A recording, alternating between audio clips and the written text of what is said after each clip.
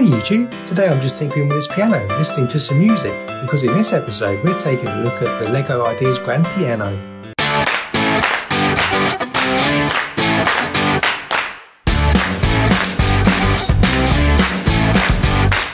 Hi guys and welcome to Brick Talk TV. Terry here and in today's episode we're going to be reviewing this LEGO Ideas Grand Piano set, set number 21323. This set came out in August 2020 and is part of the LEGO 18 Plus range aimed at adult fans. It consists of 3,662 pieces and currently retails for around £319.99 in the UK. Designed by LEGO fan Donny Chen as part of the LEGO Ideas programme, this model achieved the 10,000 nominations and survived a round of reviews by LEGO designers and was chosen to be made into a real set. So the building experience, this set consists of 21 sets of bags. You start by building the base of the main piano unit, putting in the housing for the power packs, motor and sensor. Then you build out more of the casing, which gives the unusual shape for the instrument. The shape also includes a side door to access the motor and the, the string placement, uh, and also the inner aesthetics of the piano itself. Then you move through to building the legs and the pedals for the dampener. After that, you then build out the keys. Um, I found this process does last for several bags, probably around five, and it can seem like you're working in a piano factory. And it was probably my least favourite part of the build as it was quite monotonous. And that says a lot for me because I actually enjoyed the monotony of the roller coaster pillars in the Lego roller coaster set. So maybe that says something. Next is the lid that goes over the keys and, and the part that allows you to prop up the sheet music and where you can rest your phone when you're playing with it. You then move on to the main lid and finally onto the seat. So let's flip over now and walk through some of the features that I've mentioned already as part of this build and I'll show you the finished model. So here we have the finished model. You can see that it's quite um, quite a size and it really has some sort of focal point when you stick it on a table like this. It really draws the eye uh, and it's quite stark against the, the background we got here. So at the front you can see this is the, the seat um, you've got the keys along here and then this is the, the rest of the, the playing unit. The door to access the power unit is actually located around here. So if you rotate this around here, you can flip open this door on the side here and you can gain access to the power pack and uh, you can remove it from there and change the batteries if you need to or you can then press the button to connect it to your app on your phone. The, the uh, piano is on wheels so you can rotate it around like this and it works quite well just to position it into the exact position that you want. This is the front drawer here which falls down that covers the keys up if you wish. And then this stick here you can remove and flap down and you can shut that as well if you want. So if you're trying to display this maybe in a on a shelf that has a, a restricted height you can also collapse it so it fits on there quite nicely as well and I'm yet to test whether I can fit my piano on my designated area uh, as I wish. And this lid actually closes up. So if you wanted to remove the sheet music, knock, knock this down here out, and then you can actually shut the, uh, shut the piano fully like that. So that's what it looks like when it's closed up. Um, let's just move this to the side a second and we'll come back to the piano. So as I mentioned, the, um, the seat is the last part of the build. And this, um, actually, when I was building this, it did remind me of my school days where uh, we used to have a piano in the assembly hall because this is exactly the same uh, authentic design for a, piano seat. So it's got some Technic pieces inside. So there's a mechanism that allows you to raise and lower the seat based on the person that's playing um, playing the piano's height and uh, reach for their legs. And you just turn these pieces on the side, rotate them around to elevate the seat up, as you can see here. And then it goes up quite high. And then if you want to rotate it down, you just go back like that. This is the, as I said, this is the last thing you build on the on this build. Uh, it's quite a nice little end end to it as well, which um, I quite enjoyed. Um, so look out for that one at the end. So let's flip back to the actual uh, main piano now. So once it's all opened up back again, um, you can see that one thing I think that some people that have OCD may uh, may be annoyed about is the fact that obviously your fingerprints are quite easily seen on a black tile. So you may wish to uh, wipe it down at some point once you place it just to get rid of those um, those finger stains. Um, but they're quite easy to uh, to remove and but they're also quite easy to put onto this uh, this particular model. Uh, when I originally saw this uh, coming out I wasn't overly keen on actually purchasing it. It didn't really spark much imagination in, in, for me. Um, but as as it had come out um, and I was looking at more uh, pictures of it and get, getting some more information about it I was intrigued to kind of buy it to see what the mechanism would look like. And actually, it, it moves away from my standard enjoyment, which is usually modular buildings or city buildings. Um, so I thought I'd give this one a go. Um, and although the price point was quite high, um, I did really enjoy it. Um, and I think there's a great level of detail in it that sort of uh, captivates you throughout your build. So I don't think you'll be disappointed uh, if you purchase this. Uh, if you've got a particular passion for pianos, especially, this is going to be a great build for you, and you'll you'll probably uh, reminisce about the uh, piano lessons you used to have um, when you were younger um, as you go through the build of this. So the, as I said, the detail is quite impressive. You start building uh, the base, which you can't see now underneath here, um, just to house the power units and the sensor that this, this particular model uses. As you build it out, some of the first things you place are actually the motor and the power unit. And this actually works by, uh, there's a sensor piece in here that senses when, um, when something moves inside here, which allows you then to use the app to actually play along with the music. Um, so it senses when the keys are struck, so then it knows that you've hit, hit a note.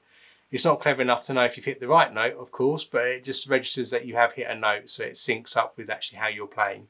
And I'll show you it playing at the end of this this video, so so um, keep an eye out for that and stay tuned. Then as you move through from building out the housing for the power unit and the sensor, you kind of then add a level of detail. So you start to uh, to put in some of the um, the groundings for where the strings are going to go inside here. So the bit around the back where there's a level of detail, you start putting that in there, uh, and then you start building out um, more around the the walls of the actual unit itself here. Uh, then you put some legs on. Uh, so the legs at the bottom go on, uh, quite a standard easy build for those. They just slot into holes you've already predefined. And then you connect the pedal at the bottom here which actually does work. So when you do lift the um, damp, dampener down or put, push the pedal down, the um, there's some units inside here which I'll show you uh, that go up and down just to cut the music off, uh, cut the strings from vibrating. Then you move through to start building out the keys. And as I mentioned, this was um, probably the dullest part for me. It was quite repetitive. I mean, there's there's not a huge amount of keys here, but uh, I did feel, as I said in the earlier segment, that I was working in a, a piano factory for a little bit because I was constantly building the same um, keys over and over again and, and, putting them into the same same way. So I probably would have liked to either seen a different maybe build technique for the keys if that was possible, or if not, maybe intersperse some of the key building with some of the other other elements like building the lid or something like that that you could have come back to um, just to break it up a bit because it was a little bit um, a little bit dry. But I've seen on um, some other websites where people actually just uh, knuckled down and just bulk built lots of the keys in one go. I didn't really think about it. I was probably watching TV while they built it um, because it, it, does get a bit repetitive, so you can kind of switch off at that point. Uh, but that's probably the, the only downside to this uh, this particular uh, model that I found. Once you've uh, built the keys uh, and they come as one unit, I'll show you that in a second. You then um, slot them into this shelf here and then you start to build out the front panel here, which you can pull out to, to pull the keys out if you want to in the future. And then you also build the lid, which slots in as well. And I'll take it apart in a second to show you how that works. You then build this piece going across here. Actually, when I did, um, when I built this, it was quite hot, so it's in the summer. So um, I did have difficulty actually then clipping this piece into where it was supposed to go. Um, but I think that was because it was swollen, swollen slightly. The plastic was swollen in the heat slightly. Um, so you do get to build this, you get to put the strings in and add these other elements into the mechanism as well. Uh, then finally, as you get through to the, the last bit before you build the seat, you actually then build the lid and put this prong in here. So it all comes together uh, fairly quickly. Um, it only took me um, about a weekend to build it, um, but all in all, it was a, a well spent weekend. It's also worth noting the level of detail that they've put into this lid here because you might notice there's actually a printed Lego piece here which actually is the original Lego logo. So they've actually gone back to their original roots. Um, just a hint of nostalgia there for the, the actual piece in the lid, um, which you can only see when you lift the lid up. And actually this printed piece here, it's not a sticker, it is printed, um, is actually a, a play day which is actually composed by the person that actually designed this. So Donny Chen actually um, compose this piece of music, and he is actually him and his wife are actually um, piano pay, players, um, and so this is what inspired him to build this model in the first place. So they've actually included um, a piece that he's written as part of this as the default piece, which is quite a nice touch just to stick it on there. Uh, I suppose this is similar to Barracuda Bay, um, where the designer's dad's name was used as the um, uses the in inside the uh, the uh, Pirates Inn on that one as well. So again, nice little nod to the the designer there, and that is actually one of the songs you can play in the app as well. So again, another um, nice touch there. So then let's just take this apart now, um, and then what we'll do is we'll put it back together, and then I'll show you it actually working, so you get a feel for that, and we'll I'll show you what it looks like on the app as well. So to start off with, there's some there's two pins that are located underneath here which uh, secure it in. So you can pull these out just like this. So let's just take these out if I can find it. That then allows you to pull this this front piece out. Um, if you lift the lid up first, again, it's just stuck in stuck in position with these two pieces here, so these Technic pieces here. So you can take the lid off. You can then pull the front piece out there, which sits across the front. Uh, and then that allows you to actually take the keyboard mechanism out. Um, so this is the monotonous bit that I found anyway. So if you remove this, this piece out here, then you're left with, uh, you know, just a shelf of the carcass here. So you get to see inside here, there's, there's the mechanism that rotates around here. So when you're playing this or getting the piano to play itself, uh, this bar across this bit here, which hopefully you can see actually just rotates around. Um, and there's some Technic pieces there that are in certain positions and that hits, strikes the keys to make it look like the piano is playing the particular song. Um, so again, one of the downsides of, of this is probably that it is just playing the same pattern over and over again, so it doesn't change if you play a different song. Um, but I'm sure you won't really notice that unless you're really eagle-eyed and, and, keeping your eye on the keys. Uh, but generally, that will just uh, make it appear look like it's uh, playing on its own.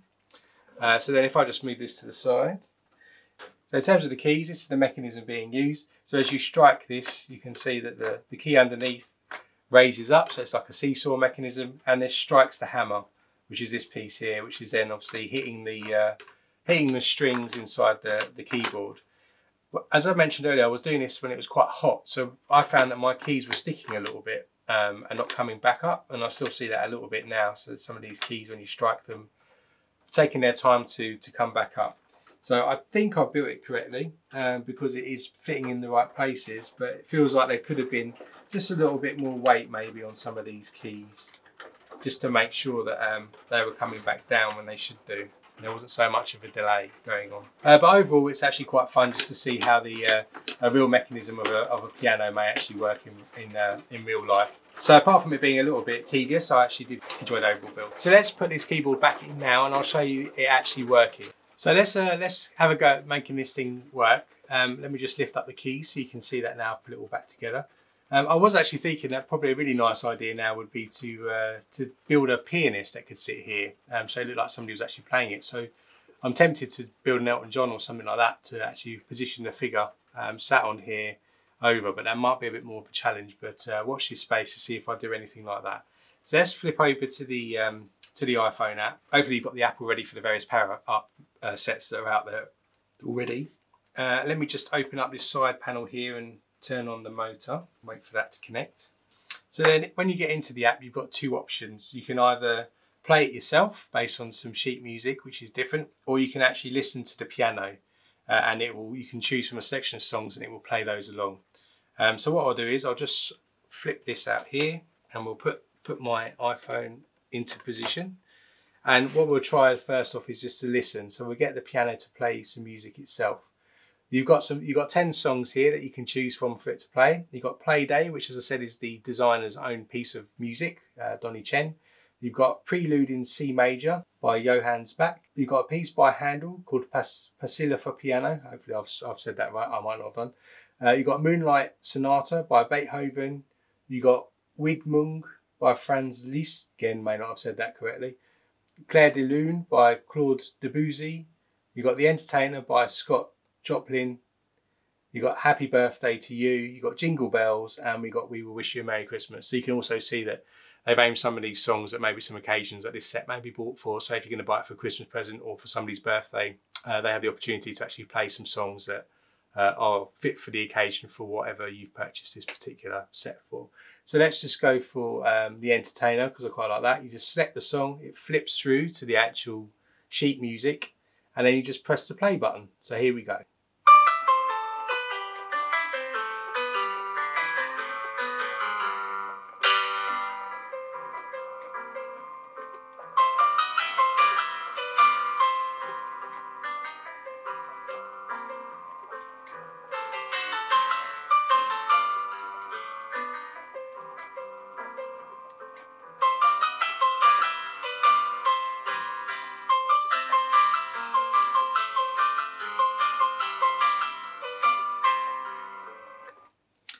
And it just repeats the song and plays uh, the rest of it as well. So what's really good about getting it to play it itself is you get to really appreciate the mechanism. So as that's playing internally here, and I'll, I'll show you a, a, segment in a second on the on this video, you'll start seeing the hammers striking the strings inside here. You'll see the dampers going up and down, and you'll see the whole mechanism working, which is um, a really good way just to get to, to look around the back and see what's going on. So if you uh, if you've never seen a piano properly playing, or if you sort of want to show your children, uh, it's quite a good way to introduce them into the um, characteristics of an actual uh, piano.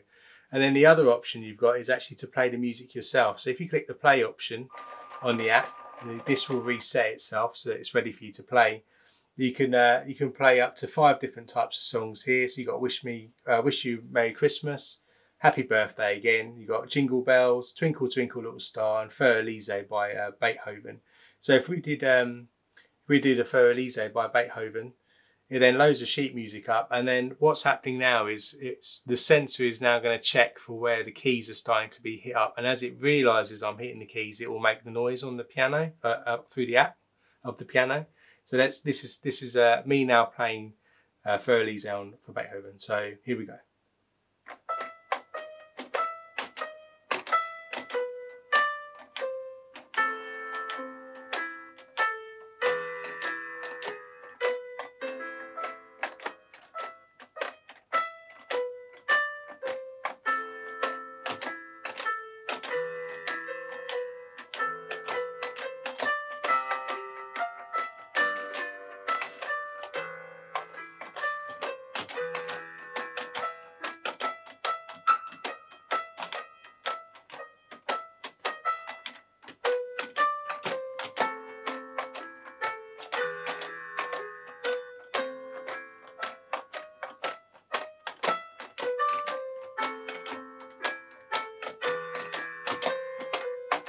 there you go and that's it uh, as it plays as you hit the keys. You'll notice as when i'm hitting those keys as well sometimes i don't uh, come back to where they should be so they're slightly lower. Again this is this is a bit of a disappointment but um, this goes back to me earlier saying maybe some of the weights should be slightly heavier just to bring the keys back to the position that you'd expect. Again i don't think i built it incorrectly from what i can see on, on youtube or through uh, through the instructions um, I think maybe maybe the heat is also having some effect on it and, and, swelling some of the plastic, so maybe it's not striking back down where it should do. Uh, or maybe they could have constructed it slightly better. I'm not sure, but maybe there's some modifications out there. So anyway, that's how the uh, how the overall mechanism works and how you get to play it. I'll show you a couple of clips now where you can actually see some of the mechanism closer up um, and you can see it actually working. So let's have a look at those quickly now.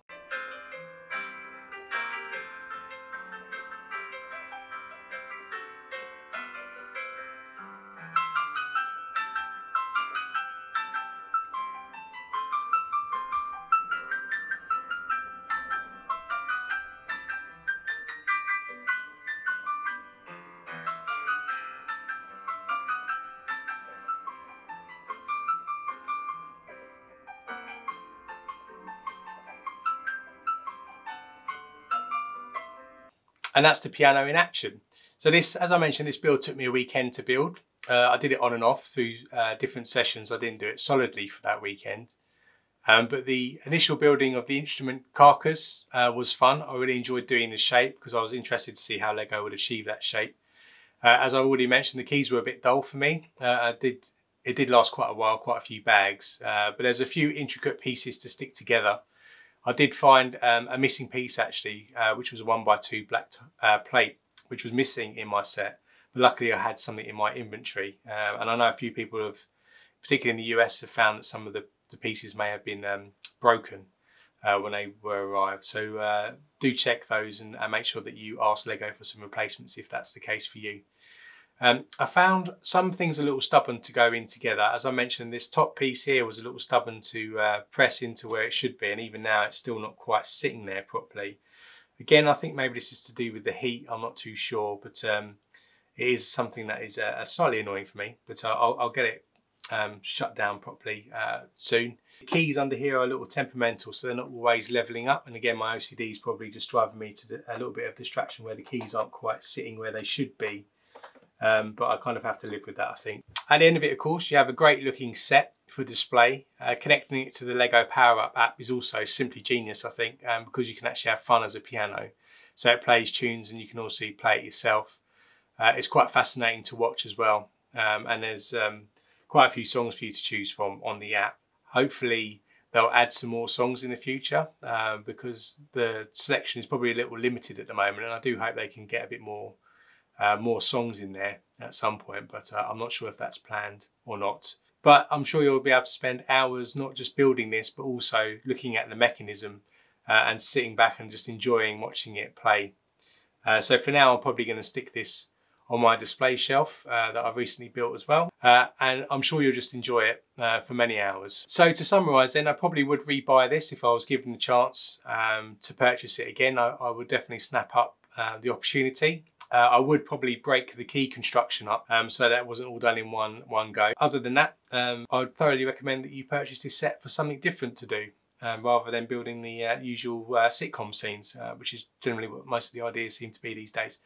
Um, so I hope you found this walkthrough and review interesting. If you did, smash the like button and hit that subscribe button with the bell notification turned on and you'll be notified of future reviews we do on this channel.